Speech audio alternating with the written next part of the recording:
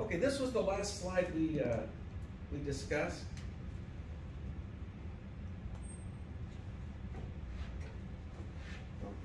And these numbers should be fairly accurate. I'm not going to swear to them that they're exact, because most likely they're not.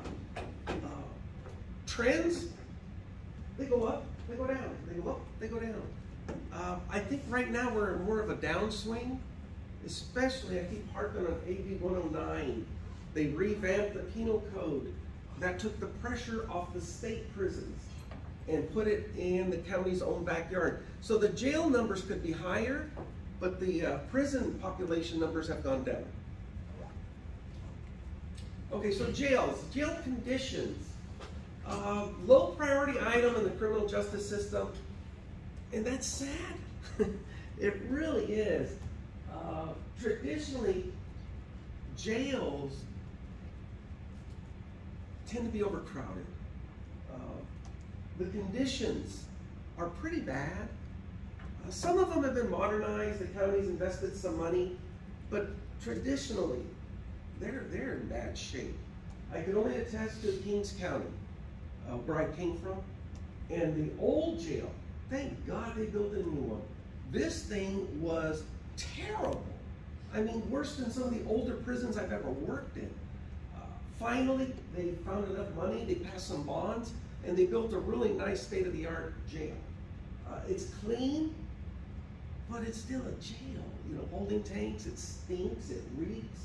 You get these drunks coming in, and you know what people that are drunk do, right? Oh, they puke everywhere. It's just, it's, it's a mess. You'd never want to go to jail. Something like I think the most important uh, thing that's lacking in every single jail Yeah. across the board is access to legal resources. Just like main books like the prisoner. It's not a priority for them. Yeah, I was Yeah. just saying, because as a pretrial detainee who has no experience with the law, Mhm. you're incarcerated, you're facing going to trial, at least uh, one book in every pod should be mandatory. Not gonna happen. And I'll tell you why, Drake. Normally, right, you make some good points, and right now this is one of them. At a county jail, most of the people that are going through the system, they couldn't care less. They're more concerned about making contact with their family, letting them know their situation, uh, trying to get visitors, trying to make arrangements for an attorney to come in. They're panicking. They don't even think about that. Yeah, I, I Hang think, on. Not until until it settles in. Every once in a while, you get a legal beagle, and most of the time, they're recidivists If they're a legal beagle, because they've been through the system more than once. Uh, first time through, panic. Like, It just panic. Uh, how many times have you been booked? One. How many bookings have I seen? Thousands. Okay. So you, Drake speaks from personal experience. You tend to be biased okay, because he's gone through it. I'm not. I've seen so many people in this situation. I can't speak for him because he's gone through the system, he's experienced it. I've only seen a thousand others like him go through the system. And that's what I'm talking about when I speak.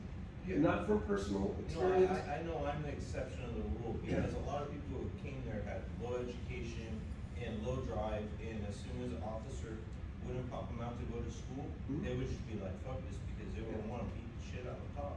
And I don't Sometimes. deal with it. Sometimes that's misdirected aggression. Yeah, a lot of them are just like, you know, I don't wanna deal with that, I'd rather go work out on the yard. But Uh-huh. for me, I was a very persistent person, cause I felt I was entitled to some sort of rehabilitation, Mhm. and that's what I. Entitled. Yeah, I mean, that's a Department of Correction rehabilitation. Entitled. God, I love that word. You're in jail or prison, but yet you have a sense of entitlement. I was pissed off because I was put there are. defending myself. I got shot in the head. I had to defend myself Sure. again, and then I had cops in there yelling at me, and I had to defend One. myself with that. One experience. One, right? Thousands. I've seen, I've shot people in the head. Not proud of it. Shot them in the ass, shot them in the head. Shot them with rubber bullets, shot them with buckshot. Never put a 223 round through somebody. Always wanted to, never got the chance. One perspective. Just please keep that one in mind. Yeah, no, I get that. Okay. Where thousands of perspectives that I've seen people go through. And yes, from your opinion, you're absolutely right. But it's minimal. Really, considering the, the totality of the population coming through. Twenty years of experience, I think I've had two people that have approached me with legal law library concerns. It is an issue. Uh, whether it's a right, I don't know. The court says it is if you're in active litigation. But if you're not, then it's a low priority. Okay, so let's get back here. Conditions are poor. Granted. County level administration results in lack of regulation. Yeah, also true. There are some regulations, but they're not enforced. Physical deterioration, absolutely. Uh, inmate sexual abuse survivors, a lot of times. And many jail inmates suffer from mental illness, absolutely. Yeah, absolutely. Whether the mental illness comes because of the drug use or it's a mental illness that led to the drug use. But usually, if there's a mental illness, there's some type of a drug that's involved. But could even been the, the inmate themselves. It could have been the mom that ingested drugs during the birth. And this kid's born that way. And it's sad. So conditions, what single thing do you think could be done to improve jail conditions? So put yourself in a jail. You're there for the first time. What do you think would be the most important thing to you? Think about it. You're walking through, I know you have a Power law. wash, power wash. Power, you want to wash the cells? Yeah, just taking a power wash, going in the drunk tank, cause man, I seen a homeless person drink out Oh, it's, the it's toilet. We actually had a drunk tank with pink elephants. We had an artist come in and drew pink elephants. They tore that wall down, but it was hilarious. Did you see a drunk come in and they're oh my god, they think they're seeing things, but they're really there. I thought it was. Okay, so what do you think is important? You're a new arrival into the prison. What would you expect from your treatment? Anybody? Or now start picking up. No, let's start. Isaac, what do you think? The, you just walked in. You got done being booked. They're escorting you to your cell. Right, just your access to it, to like the team, making sure everything's still away and, uh, just, just wait there until they process. But a legal team is important. That's what you want. I mean, for me personally, the condition that percent do what I do, I just wanna make sure everything is, all like the legal aspects is taken care of. Okay. And what do you think? I same. I would probably like call my mom and be like, Mom, pray for me, like I'm in jail or something, and then like have her reach out to whoever she needs to reach out to because I don't think I mean I don't know how to it. Um, yeah, I don't know. You want that phone call. Yeah. Most people they want to reach out. They're trying to contact someone, either for help or to let them know of their situation. What do you think? I was gonna say the same thing, a phone call. Phone call. Like as soon as I can. Good. Uh, that is one of the rights when you come through. As soon as you're booked, you're allowed to make the phone call. Make your phone call, uh, for whatever. I had a guy call in for a pizza. What an idiot. Yeah. What do you guys here? I think cleanliness wise, I would just want a clean bathroom, like A a, clean decent bathroom. See, I, I, I'm with you. I'm with you. Uh, now, remember, when you go into the county for initial booking, you're not be taken to your cell, they're putting in a holding tank, that's what he's talking about. And these holding tanks are filled with other, not that you're a degenerate, but other people in your situation, some repeat offenders, uh, people of all size, all color. Uh, It's a strange environment. Okay. And yes, there's predators in there. Just looking for a young, tender piece of meat to walk through those bars to abuse you in different ways. How does that make you feel? Officer! Officer, don't leave. I'm gonna stay right here by the grill and watch everybody in this cell. Think about it. You're gonna be praying, please take me to my cell. I wanna go to a cell. Because you're in there with 10 other people. So you say, okay, good, your wish is granted. They take you to a cell. But instead of being a single cell, you're going to a dorm. Instead of 10 people, now you got 20 or 30 in this dorm. Okay, here's your bunk. One's here, one's here. Oh, you get the triple bunk. Really? Well, thank you. It's not a pleasant environment. Some ugly people are going to be coming to you. Why are you here? What did you do? Who do you run with? See the paper. Yeah, then the papers. Yeah. Okay, so it's a terrible situation, and hopefully none of you will ever find yourself in that situation. I raised three kids, scared all the time that they were going to do something stupid, and I was going to have to tell them, if you put yourself in jail, get yourself out, don't call me. I never had to enforce that uh, because they never really did anything that bad to put them in jail. One of my nieces did. She did something stupid. I can't remember what it was. And my aunt calls me. She said, Can you help me? Uh, Prissy is in jail. It was like a Friday night. I said, Yeah, leave her there. She goes, Oh, I can't. She's scared. No, she put herself there. Monday, she'll be arraigned. Most likely, she'll be uh, let out on warrant. She goes, Well, thank you for the advice. Hung up the phone, called my dad, asked for money to post bail. Boy, was I pissed. He gave her the money, she went down, posted the bank. Got her out. Saturday morning, actually. How stupid. You put yourself in, get yourself out. Don't call for me to, bail me out now. I, I'm a firm believer in that. Uh, thank God she did learn her lesson. She one time offended. I did investigate her case. I wrote some reports. I presented to the court because there was some issues. Uh, court did give her leniency and gave her a not outreach, but uh, like community service and stuff, special sanctions. So it worked out. She learned her lesson. Never got in trouble again. It's doing pretty well now. Okay, so just think about before you want to do something stupid that could get you in jail. You don't want to be there. You really don't. It's not a good situation. This is the one I'm telling you about, the new generation. They've improved jails tremendously. Uh, doesn't mean that changes your experience, right? The fear, uh, the chances that you could be subjected to more violence in jail. That doesn't change. The only thing that changed is the exterior. It's nicer, it's cleaner. I'd even say the food's a little bit better, not too much, but a little bit. And how do I know? Because I had to eat that food. Every meal that's served to an inmate, staff has to sample it in the dead man's tray. We have to keep it for three days. Just in case something happens to the population, they could trace the food back and test it to see if that was the source of an illness or something like that. So we always keep up for three days. Uh, it's called Dead Man's Tray, and staff sample every single meal, and I've eaten more than my share. And it's not bad. You add a lot of salt and pepper and other spices, but it's not the best.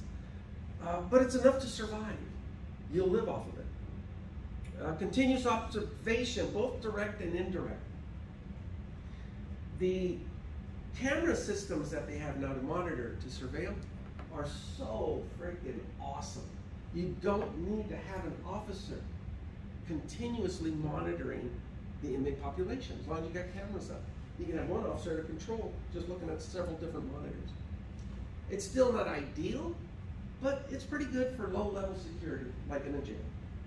Higher level security, then you're going to have to have direct officer observation. That's what they're talking about, direct. Prisons, different types. Maximum, supermax, medium, and minimum. Supermax sounds good.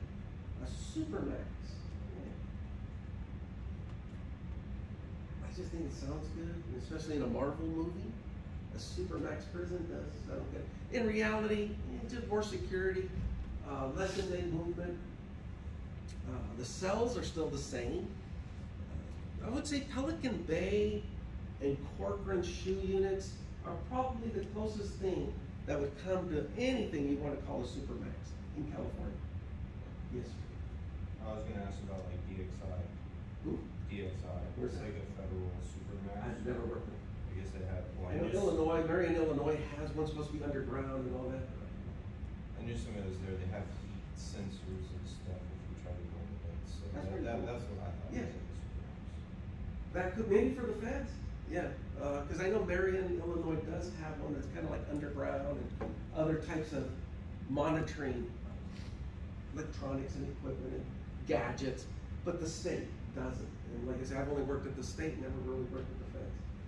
Um, maximum security, restricted inmate movement. If you could, you get single cell housing. Uh, when housing is too overcrowded, they'll go to double. Uh, they, you will never see dorms in any type of maximum security. It's always going to be a cell structure. Whether it's a 180 design, if you remember the linear building that I drew up here, right? The cells facing out. Uh, that's better than the 270 uh, because there's still blind spots in the 270 design. But you can use a 270, they just put the walls up this way to turn them into separate little cubicle areas, and it does work pretty good. Okay, medium. Medium is still gonna have a fence perimeter with armed or electric fence. Electric fence saves a lot of money. So electric fence or armed perimeter, still restricted movement, but it's a little bit more lenient, and you could have dorms. Minimum, some do have a perimeter fence, some don't. There are no armed security, and it's primarily dorm setting. So the lower the custody level, the lower the risk, the lower the need for security. Makes sense, right? At the maximum, level four, you would think they go by officer to population ratios. Uh, one to 12, like at a maximum, you go about one to 12, one to 18. That's about it. At a level four, still general population, the ratio's about one to 100, which is pretty damn high. One officer per 100 inmates. That's high. Uh, but they're what do they call them? Programmers. These level fours, even though they're classified at a higher level, they program. They're there to do their time, they go to school. Normally, they're not gonna cause too much trouble. That's where you can get one to 100.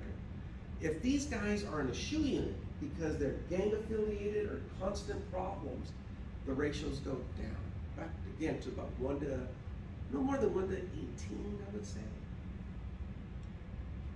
I, last time I worked a SHU unit as an officer, I had 24. It was 1 to 24, but I had an S and E for backup. So it wasn't really true 1 to 24. But still, that's a lot for one officer to be responsible for that many people that are that dangerous. Maximum security, dangerous felons, strict security measures, high walls, limited contact. Security is key. Prisons are designed to eliminate hidden corners where people can congregate. God, it brings back memories. Um, yeah, scary things. Today's prisons, the way they're built, they would comply with this. Except maybe San Quentin and Folsom.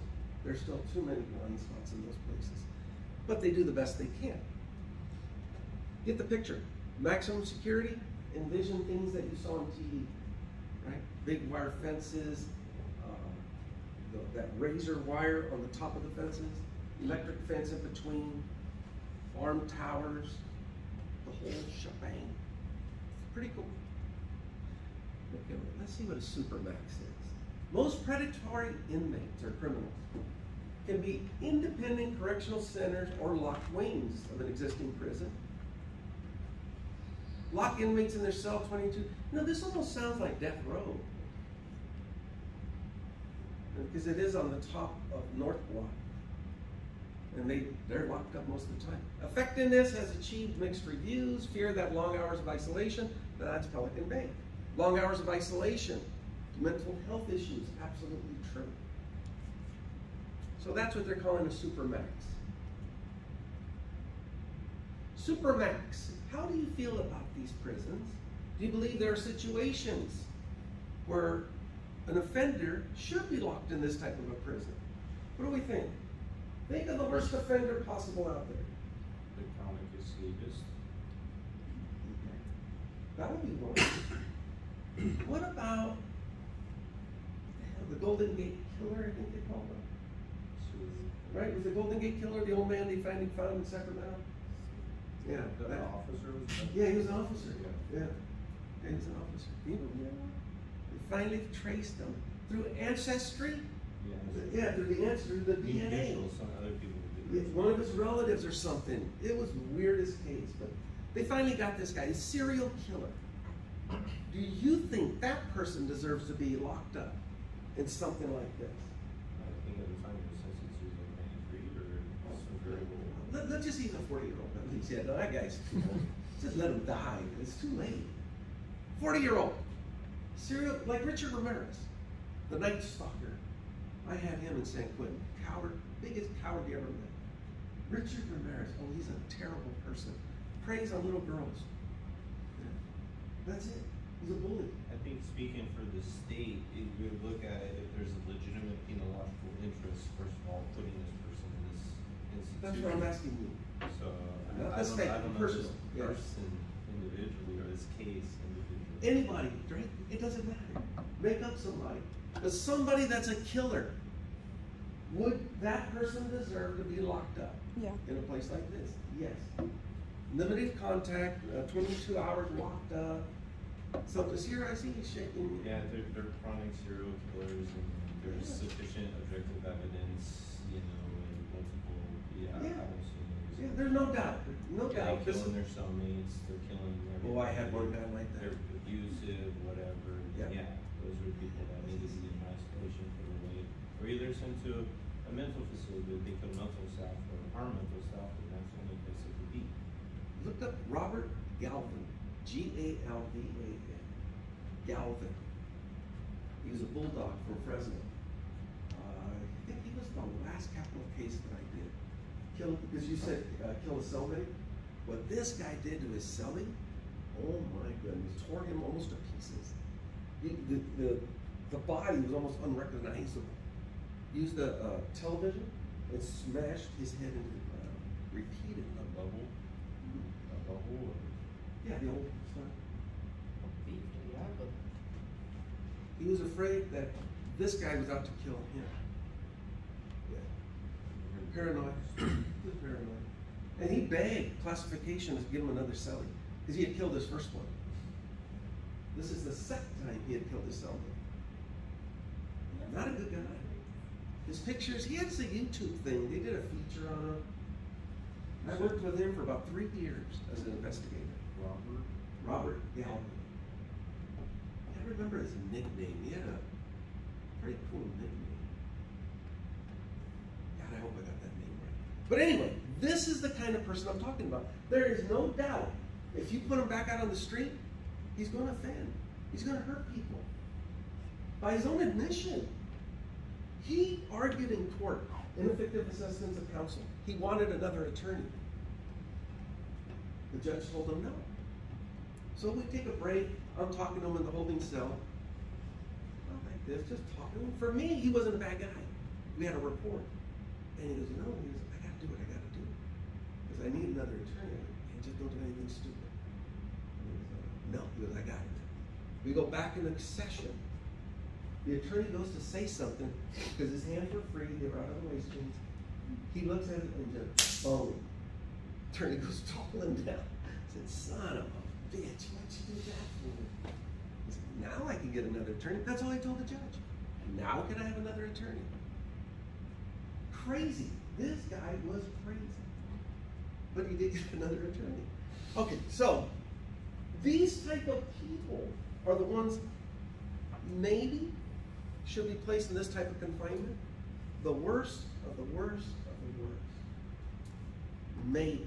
Because that type of confinement is still kind of harsh. Okay, medium. Medium security. Uh, less secure, houses non-violent, supposedly, provides more opportunities for contact. Uh, they will have what's called conjugal visiting. Conjugal, meaning they can have relationships with their loved ones, preferably their wife, not a girlfriend. Uh, but yeah, they can actually have conjugal visits. Supposedly nonviolent. Uh, they're in California. They're called level threes. You go one, two, three, and four. So a medium, traditionally about a level three institution. there's still a lot of security, but there's more inmate movement. Promotes greater treatment efforts, allows for more opportunity for rehabilitation, for education, and other things. When uh, I was at San Quentin, I was a sergeant. And lieutenant's list came up. And I was hireable, I was reachable. So I start looking for opportunities. Where am I going to promote?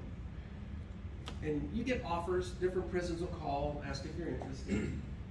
and I did my homework because I did not want to work at a level one or two institution. I wanted at least a level three or four. And so when the offer came in, it was going to be a level four GP programming institution.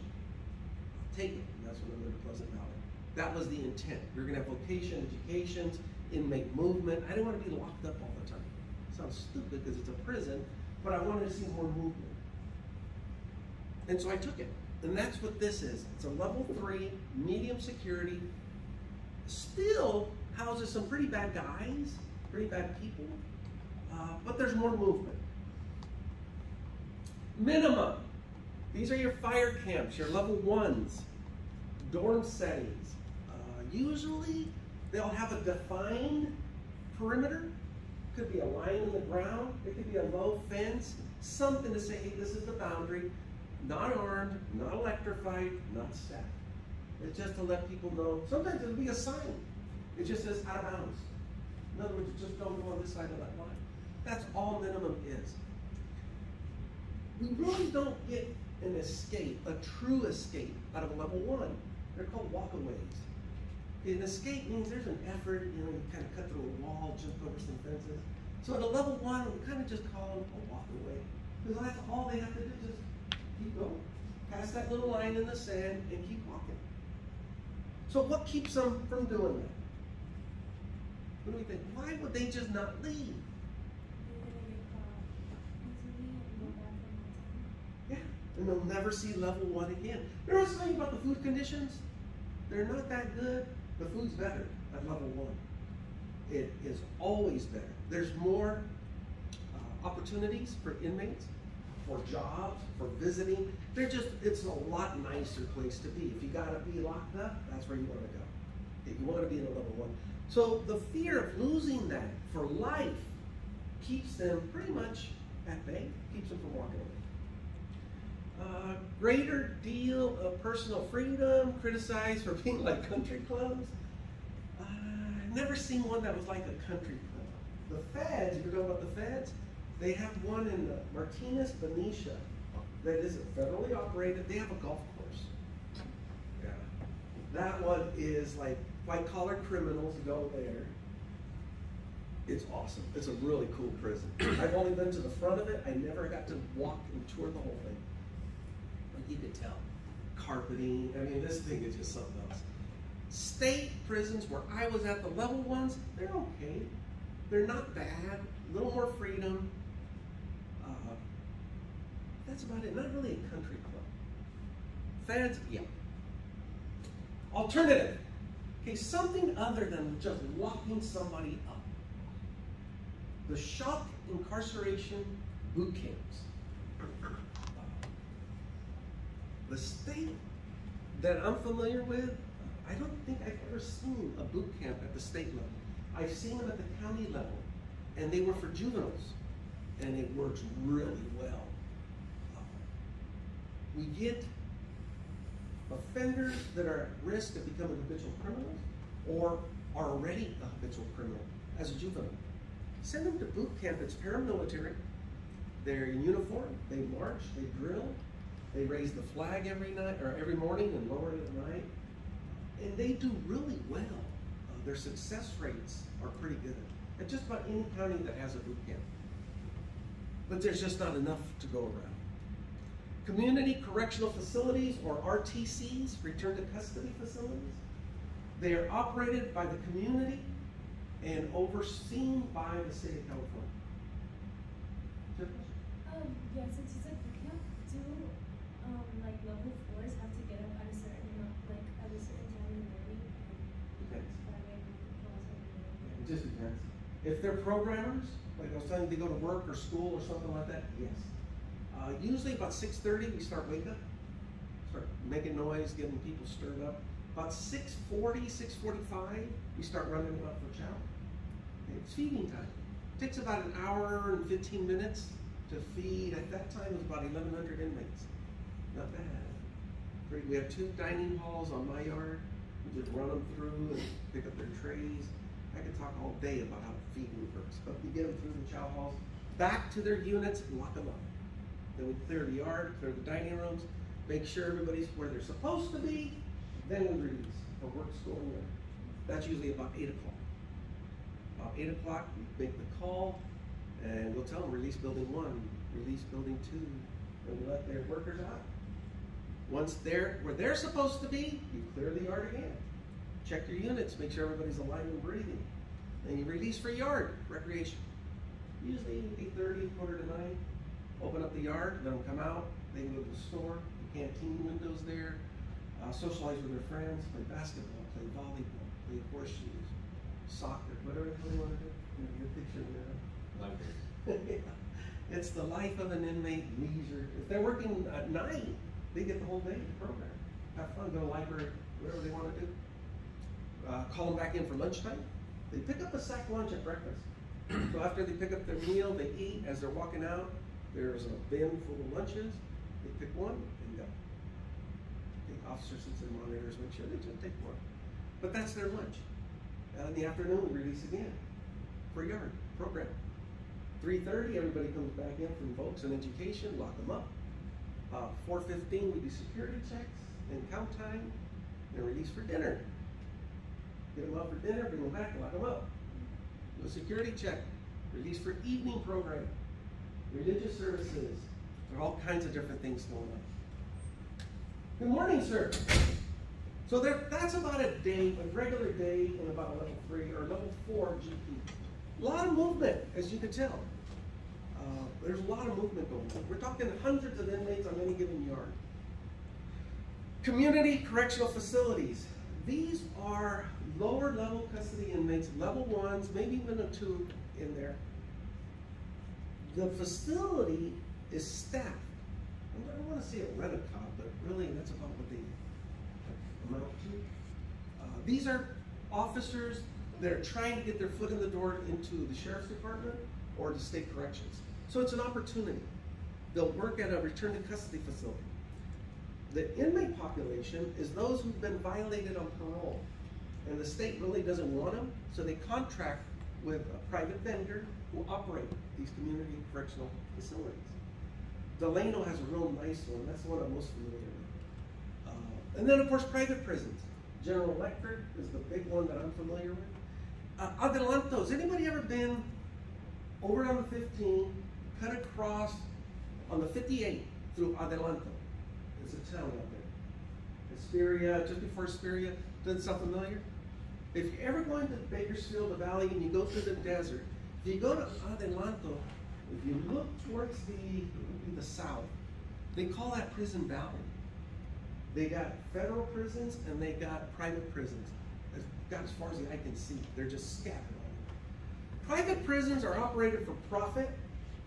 These are corporations that build these prisons and contract with the state for a certain amount of money to house an offender in their prison.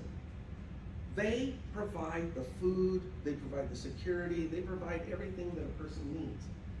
However, they're still overseen by CDC, Department of Corrections.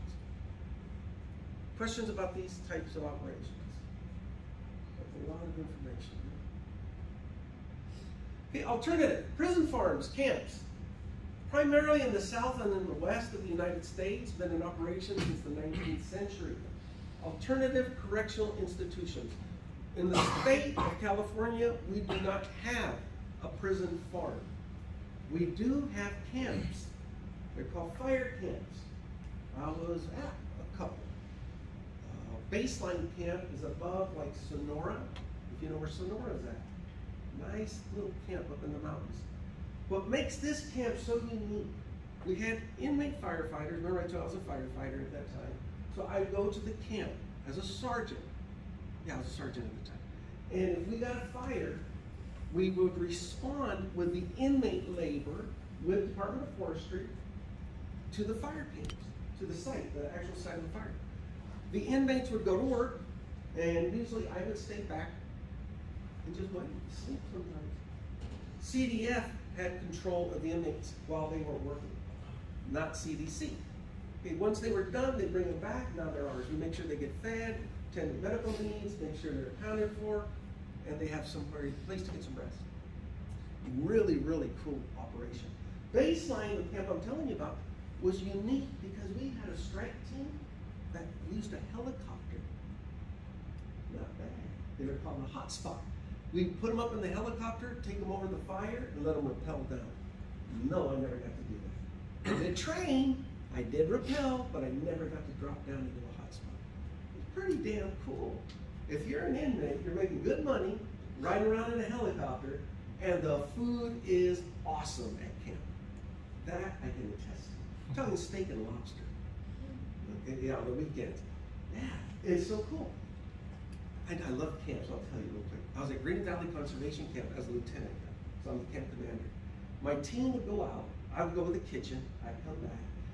CDF, Department of Forestry, would write us checks, actual check, thousands of dollars in checks for food. But we took our own food to the fire camp. So when we got back, I got to go shopping, right? I got to go shopping with thousands, take a couple inmates with me, let's go, grab some carts, go down to Ralph's. What are we buying? Fresh vegetables, number one, steaks. Uh, we had salmon because we used to do the salmon run. But we would buy all, thousands of dollars of food, bring them back, put them in our shelves, and then enjoy. Yeah. What's cool on the redemptive nature with this, a lot of fire departments, when they work with these inmates, they allow a lot of opportunities when the inmates, because they're already close to release, Yep. to be, become part of their departments. as They well. transition right out. Yeah. So, yeah, that's what I really like about Yep. this. Yeah, it's a win-win. Uh, because they do, they've got all this experience, the inmate firefighters. They transition right into a non-sworn firefighting position somewhere. So it's a win-win for everybody. But wow, what an experience that was. Okay, so for the state, we do have camps, but we don't have a prison it. Alternative correctional institutions, uh, back to the boot camps, shock incarceration. This confuses a lot of people because it does pop up on your quiz. What is shock incarceration?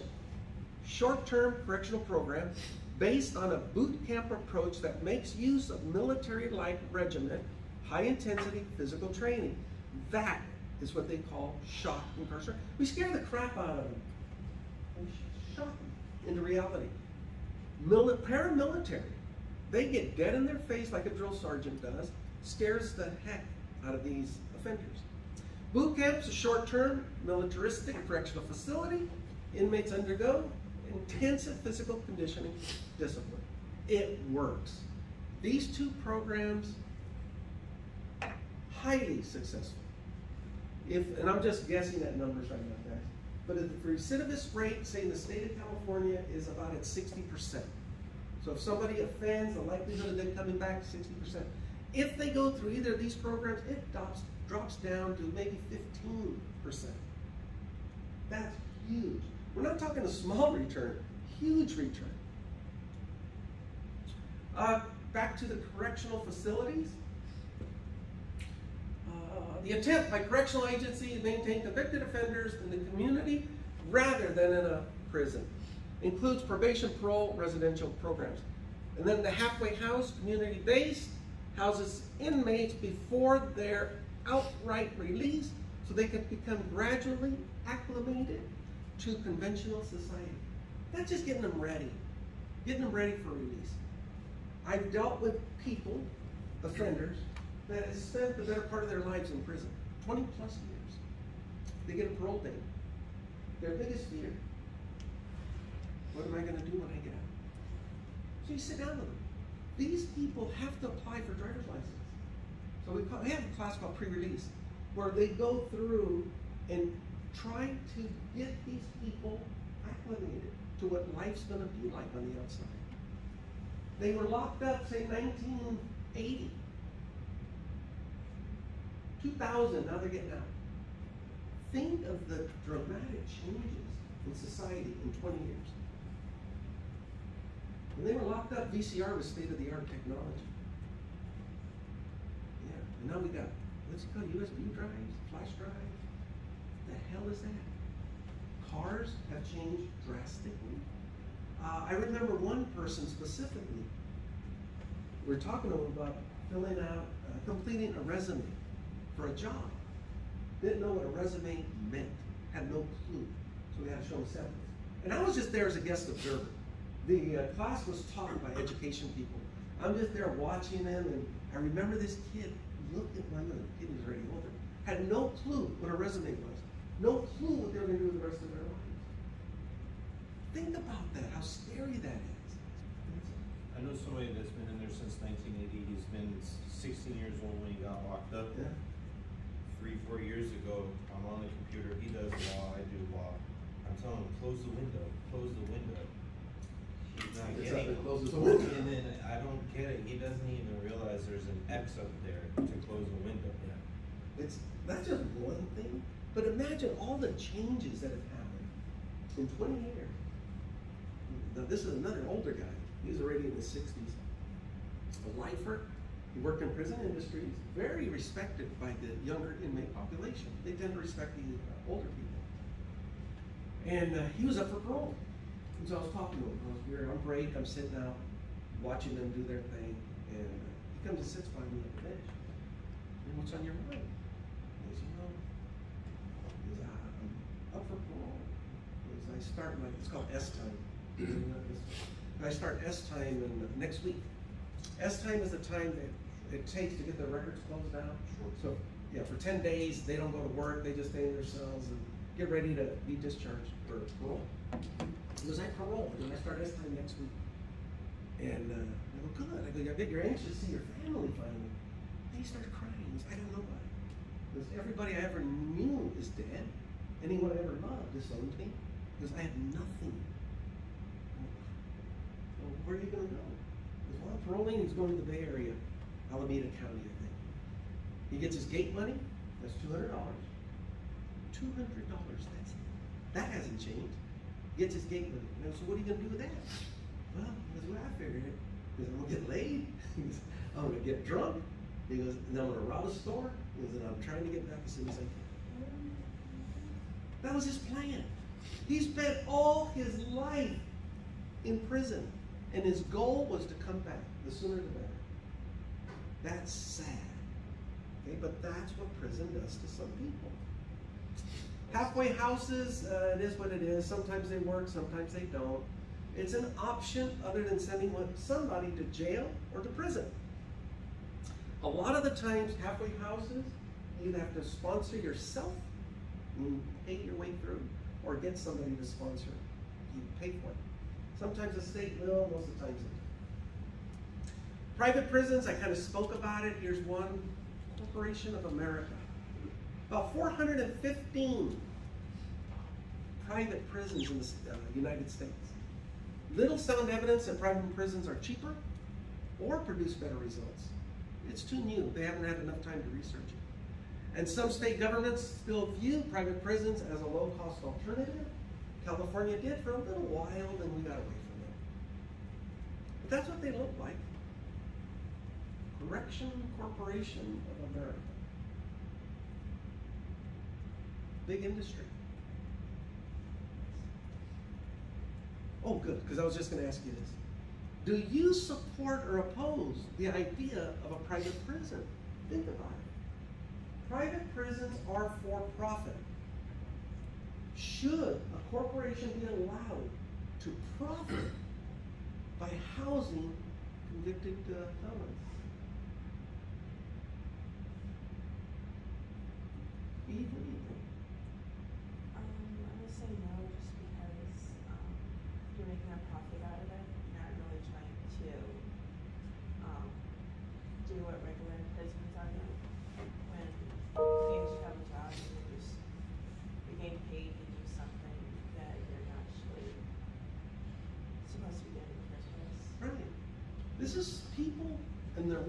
Time in their lives. They're in misery for the most part. And we have private companies profiting from that misery. That's kind of how I look at it. Denise, what do you think? Um, I'm gonna say no, just because like private companies holding their own prisons, Yeah. like holding inmates and stuff, that just doesn't seem. right. Doesn't seem right, right? Yeah. Do you think there'd be a tendency to cut corners to increase profit? Right? Yeah. That's the first thing I think of. When I'm in charge of a private prison, I want to make more money. Where can I cut corners? It's not going to be in staffing. Medical needs. I'm going to get a doctor as cheap as I can. Well, the state does that now too. Anyway, I'm going to try to cut corners wherever I can. So it's kind of a sour apple. And there is no proof that they're actually doing a good job. We gotta just wait and see. It's one of those things we're just monitoring and seeing if it's going to uh, be worth the investment. I think at minimum, understanding their nature, they're a corporation, corporation's key interest is their shareholders, mm-hmm. and that's it. That's it. And that's where the dilemma lies. Their interest isn't in caring for these people that are locked up under their care. It isn't. It's to the shareholder. And if you're invested in that company, wouldn't you agree with that? Think about it. You're a stockholder in this company, and here, this manager is spending money on providing better quality food for the inmate population, dipping into your profit. How are you going to feel about that? You'll be pissed. That's what you would do. Yeah, you're, you're out of here. We're going to put somebody in there that isn't afraid to cut corners. So yeah, it's kind of the jury's still out on this one. Uh, populations. Disproportionately young, also disproportionately male, tend to be more minority, and low income.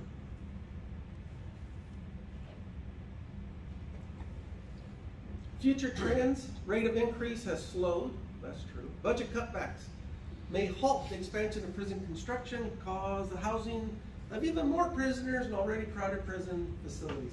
That's already happened. We've closed two prisons in the state of California in the last, I don't know, five, six years. More on the chopping block. What was double cell and dorm living is gone. They're all single cell now. But what's in store for the future? Nobody knows. When I started with the state, there was 12, oh, two state prisons, Folsom San Quentin, 10 institutions, what they called institutions. So a total of 12. By the time I retired, there was 32. I came in right as the trend was going through. Three strikes hit. Uh, they changed from from indeterminate to determinate sentencing. That caused a huge influx into the population, caused problems. Now we're on the other side of that slope. Things are coming down. Do we have any questions about this presentation?